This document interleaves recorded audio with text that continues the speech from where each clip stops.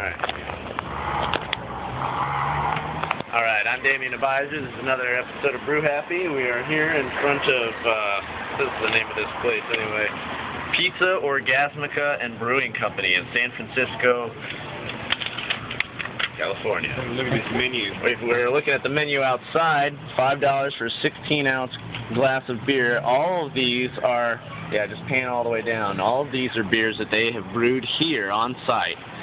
You're probably not going to be able to get these brews anywhere else.